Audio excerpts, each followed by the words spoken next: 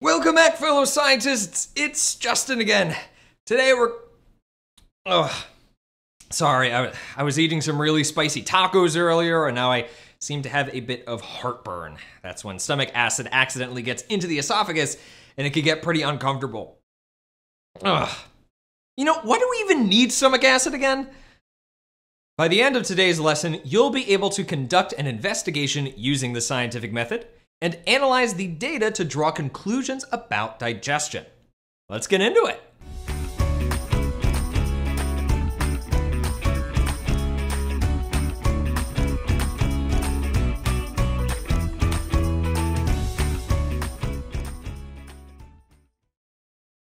So, how does stomach acid benefit digestion?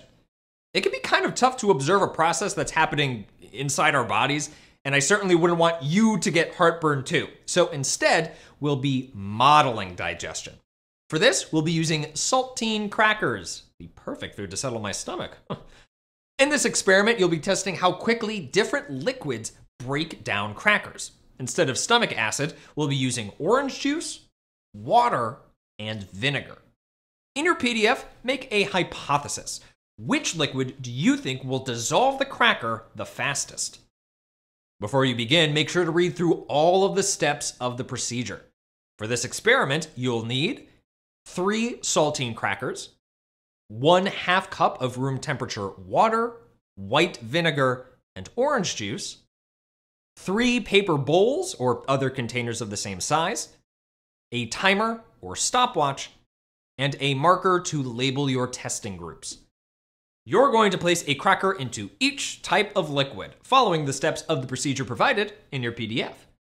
Every five minutes, you'll record your observations. Are the crackers starting to get mushy, break apart?